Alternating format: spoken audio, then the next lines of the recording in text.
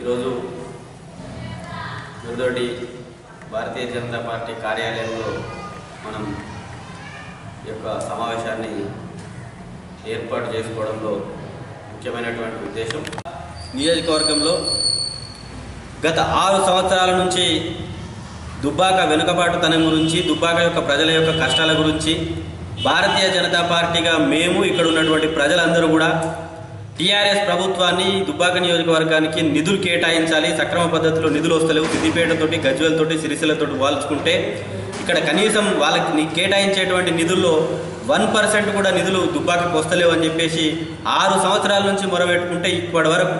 సాక్షాత్తుగా రామలింగారెడ్డి గారు అసెంబ్లీలో మా రోడ్ల పరిస్థితి అధ్వానంగా ఉంది అని చెప్పేసి ఆయన కూడా గొంతెత్తి మాట్లాడినా కూడా ఒక్క రూపాయి కూడా దుబ్బాక నియోజకవర్గానికి కేటాయించిన టీఆర్ఎస్ ప్రభుత్వం.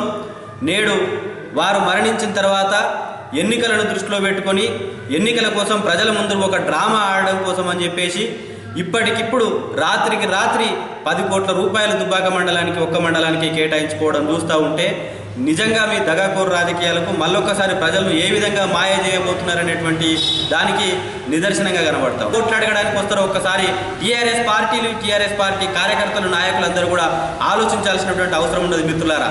ఏదో కోట్ల రూపాయల నిధులు కేటాయిస్తున్నారు ఇప్పటికిప్పుడు దుబ్బాక నియోజకవర్గానికి తెల్లార సరికల్లా ఓం భీం బిష్ అని చెప్పేసి మంత్రం చేసేది అభివృద్ధి చేస్తామని చెప్పేసి అంటే ప్రజలు నమ్మేటువంటి పరిస్థితుల్లో లేరు.